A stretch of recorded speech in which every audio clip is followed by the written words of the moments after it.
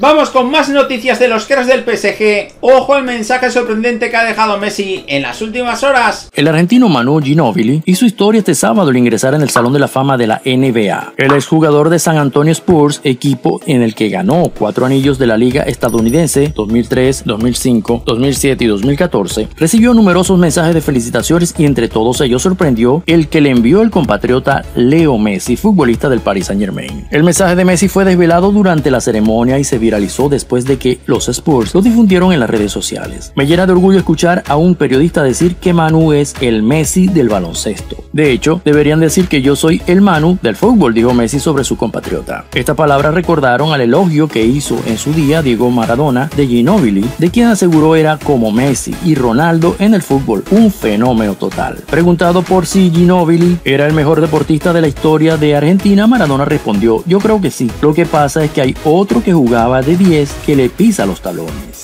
Y es que aquí podéis ver el tweet de NBA Latam en el que se hace eco de este maravilloso y humilde mensaje de Leo Messi dirigido a Manu Ginobili. Vamos a hablar ahora de un compañero de Messi en el PSG de Neymar y cómo está sorprendiendo y por qué en este inicio de temporada. El brasileño comenzó desatado la Ligue 1, lleva 8 goles, sumado el último contra el Brest y marcó en las 7 jornadas del campeonato francés excepto en el partido contra el Nantes, más allá de los comentarios que puedan surgir en torno a las estrellas del Paris Saint Germain como la relación entre Neymar y Mbappé. Lo cierto es que en la cancha no se nota porque los dos futbolistas se reparten la producción goleadora del Paris Saint Germain. Los franceses llevan 27 goles entre Champions y Ligue 1, Neymar acumula 8 y Mbappé 9. Por su parte Messi suma 3, el tridente letal del Paris Saint Germain no falla. Hay que esperar el momento de la verdad, que no llegará hasta el último año cuando se decidan los títulos. Pero según palabras de Galtier, en el caso de Neymar algo ha cambiado que ilusiona a todo el Paris Saint Germain con hacer algo grande.